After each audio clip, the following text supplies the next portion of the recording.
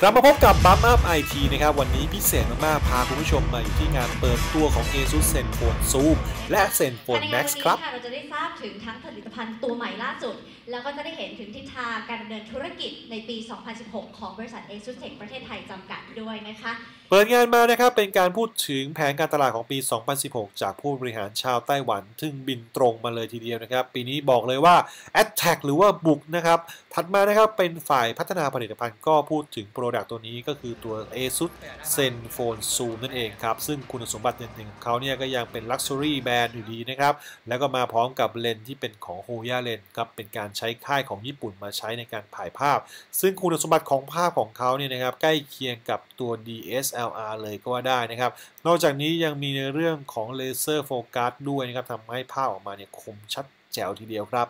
ผมเองก็ได้ลองสัมผัสตัวเครื่องตัวนี้นะครับแล้วก็รู้สึกได้เลยว่าตัวนี้เนี่ยมันให้ความหรูหรามากนะครับ เพราะว่าด้านหลังเนี่ยเป็นหนังแท้นะครับ แล้วเลนส์ตัวนี้มันไม่ยื่นออกมาด้วยนะครับผม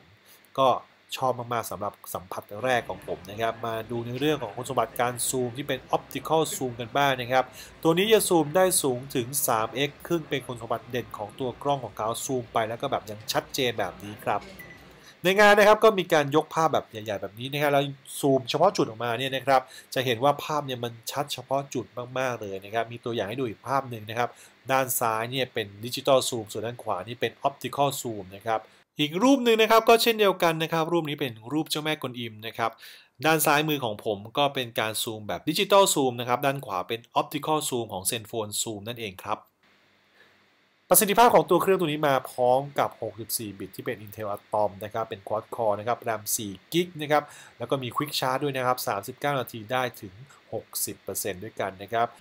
หน้าจอนะครับเป็น Gorilla Glass 4 นะครับ มีการเปรียบเทียบกับ iPhone 6 Plus ด้วยนะครับว่าหล่นลงมาแล้วเนี่ยตัวของเขาเนี่ยไม่แตกนะครับซึ่งมีความทนทานสูงทีเดียวครับ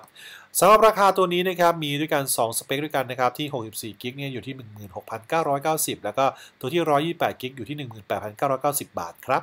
อีกรุ่นหนึ่งนะครับที่เปิดตัวในงานวันนี้ก็คือ Zenfone Max ครับ จุดเด่นของตัวนี้ก็คือแบตเตอรี่ให้มาถึง 5,000มิลลิแอมป์นะครับจอ 5.5 นิ้ว ตัวนี้นะครับแซนบายได้ถึง 38 วันด้วยกันนะครับ แล้วก็สามารถคุยได้นานถึง 37 ชั่วโมงครับ นอกจากนี้ยังมี